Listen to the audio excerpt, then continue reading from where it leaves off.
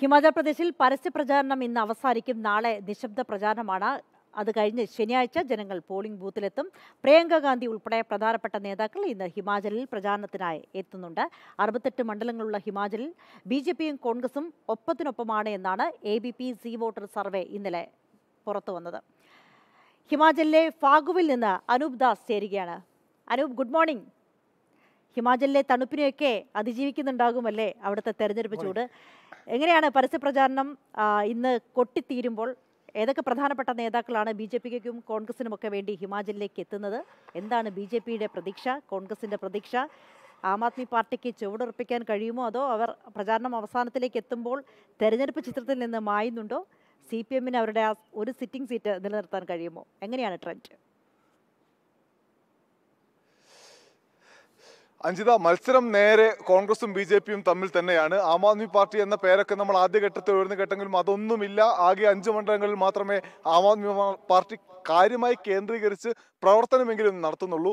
ഇന്നലെ A B P C voter survey പുറത്തു വന്നതനുസരിച്ച് നാൽപ്പത്തി അഞ്ച് ശതമാനം വോട്ട് ബി ജെ പിക്ക് നാൽപ്പത്തി നാല് ശതമാനം വോട്ട് കോൺഗ്രസിന് ലഭിക്കും. ഇരു പാർട്ടികൾക്കും ഏതാണ്ട് മുപ്പത്തി മൂന്ന് മുതൽ നാൽപ്പത് വരെ സീറ്റുകൾ ലഭിച്ചേക്കാം എന്നാണ് ഈ ഒരു സർവേയിൽ പറയുന്നത്. ഇവിടെ മണ്ഡലങ്ങളിലൂടെ സഞ്ചരിക്കുമ്പോൾ സമാനമായ ഒരു പ്രതികരണമാണ് നമുക്ക് ലഭിക്കുന്നത്. അതിശക്തമായ മത്സരമുണ്ട്. കോൺഗ്രസ് ഇവിടുത്തെ പ്രാദേശികമായ സംസ്ഥാനാടിസ്ഥാനത്തിലുള്ള വിഷയങ്ങൾ സജീവ ചർച്ചയാക്കാൻ ശ്രമിക്കുമ്പോൾ ബി പക്ഷേ ഇവിടുത്തെ ഭരണ നേട്ടങ്ങൾ മുന്നിട്ട് ഉയർത്തി പറയുന്നില്ല. അവർ ചെയ്യുന്ന കാര്യം ദേശീയ തലത്തിൽ ഇപ്പോൾ രാമക്ഷേത്രം പണിഞ്ഞു. ഏഹ്, അതിന്റെ നടപടികളുമായി മുന്നോട്ട് പോയി തുടങ്ങിയിട്ടുള്ള കാര്യങ്ങൾ ഇവിടെ ചർച്ചയാക്കുകയാണ്. എന്തായാലും ഈ അവസാന ദിവസം പ്രിയങ്ക ഗാന്ധി ഉൾപ്പെടെയുള്ള പ്രധാനപ്പെട്ട നേതാക്കൾ ബി ജെ പിക്കാണെങ്കിൽ മുഖ്യമന്ത്രി ഇവിടെ ജയറാം ഠാക്കൂറിന്റെ നേതൃത്വത്തിലുള്ള കാര്യമായ പ്രചാരണ പരിപാടികൾ. ഇന്നലെ പ്രധാനമന്ത്രി നരേന്ദ്രമോദി രണ്ടിടത്ത് പ്രചാരണം നടത്തിയിരുന്നു. ദേശീയ നേതാക്കളൊക്കെ തന്നെ സജീവമായി ഇടപെട്ട പ്രചാരണം നടത്തിയ ഒരു തിരഞ്ഞെടുപ്പിൽ എന്തായാലും കടുത്ത മത്സരമുണ്ട്. സി പി എമ്മിനെ സംബന്ധിച്ച് ഒരു സീറ്റ് ഈ ഏഹ്, തിയോക് സീറ്റ് നിലനിർത്താൻ കഴിയുമെന്ന പ്രതീക്ഷയാണ് അവർ പങ്കുവെക്കുന്നത്. ഷിംലയിൽ കടുത്ത മത്സരം കാഴ്ചവെക്കാൻ കഴിയുമെന്നും അവർ പ്രതീക്ഷിക്കുന്നുണ്ട് അഞ്ജിത.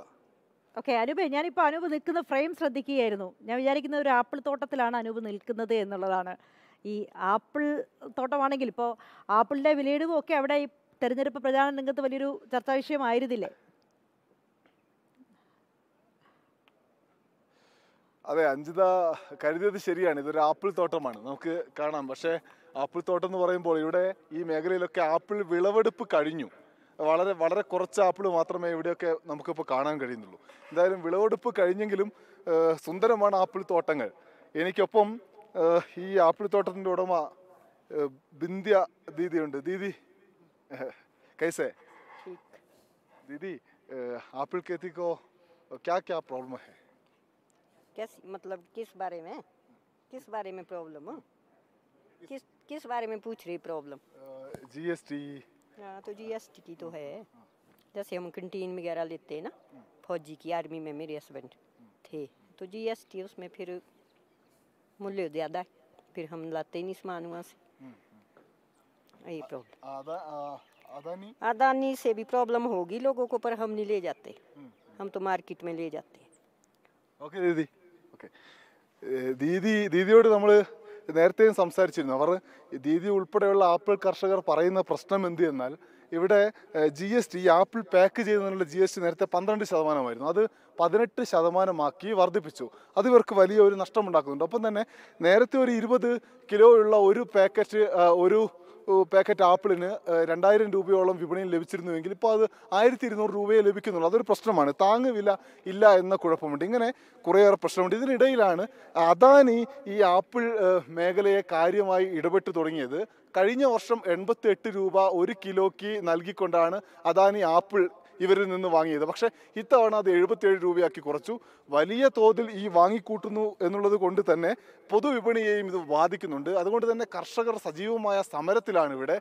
ആ- സമരം ഏതാണ്ട് രണ്ട് ലക്ഷം പേരെ നേരിട്ട് ബാധിക്കുന്ന വിഷയമാണ് ഹിമാചൽ പ്രദേശിൽ ആപ്പിൾ കൃഷി. അതുകൊണ്ട് തന്നെ വളരെ സജീവമായ സമരമാണ് അത് ഇവിടുത്തെ സർക്കാരിനെതിരുമാണ് എന്നാണ് നമുക്ക് മനസ്സിലാക്കാൻ കഴിഞ്ഞത്. എന്തായാലും അത് ഒരു തരത്തിൽ നടക്കുന്നു. എന്തായാലും സജീവ ചർച്ചയുമുണ്ട്. നമുക്ക് എന്തായാലും ആപ്പിൾ തോട്ടത്തിലാണല്ലോ.